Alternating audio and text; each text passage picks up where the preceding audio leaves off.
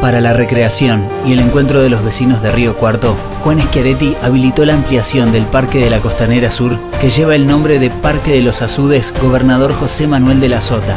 Cuatro nuevas hectáreas que se suman a los espacios ya existentes. ¿Ves? Entre todos podemos y hacemos más.